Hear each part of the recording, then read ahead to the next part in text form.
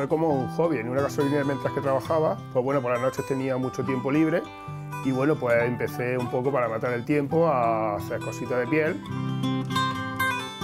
El primer artículo que hice fue en la gasolinera con un guante de cuero. Lo desarmé, hice una canana pequeña como de caza de imitación. Luego empecé a cortar unas tiras, empecé a hacer cinturones. Al principio los primeros cosidos fatal. Un cliente me encarga una correa del reloj, mm, empieza a gustarle, empieza a ponerla en foros, todo esto y a partir de ahí, bueno, pues es una avalancha y de entonces hace ya ocho años aproximadamente no paramos de, hacer correas de reloj.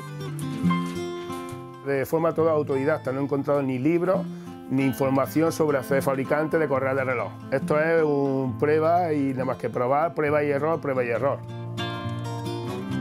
Los principios son muy duros, pero ahora pues se dan cuenta de que con constancia y sacrificio pues bueno sale todo adelante.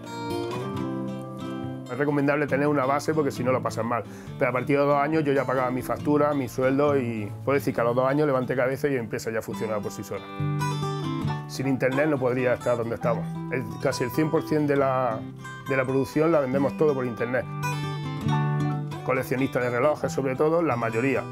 Gente con relojes de marcas muy prestigiosas, pero bueno, también hay clientes de, hay de todos tipos, pero la mayoría son clientes muy exclusivos y que no le importa pagar un precio le importa que, el resultado sea el que ellos quieren, no miran tanto el precio como el resultado.